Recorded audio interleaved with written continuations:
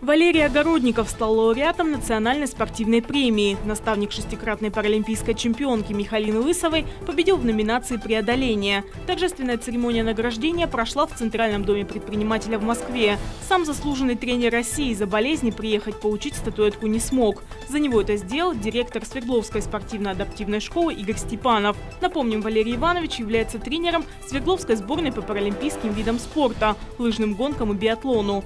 Также в арсенале его наград кавалер орденов дружбы и за заслуги перед Отечеством третьей степени.